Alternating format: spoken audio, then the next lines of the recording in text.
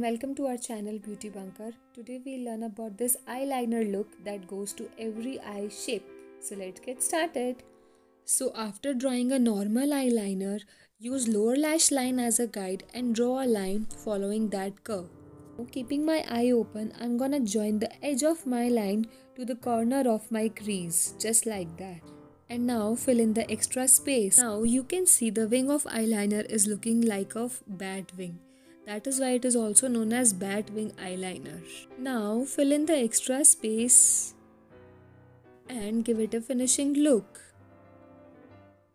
Just like this.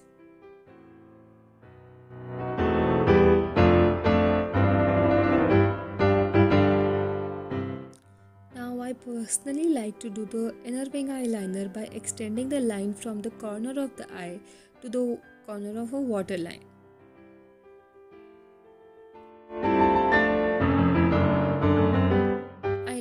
Goes to every eye shape, either it is a hooded eye or a normal eye. Now put some mascara. So here you go with the final look. Hope you like it. Please like, share and subscribe to our channel to get the more exciting videos and to get further notified. Thank you. Bye bye.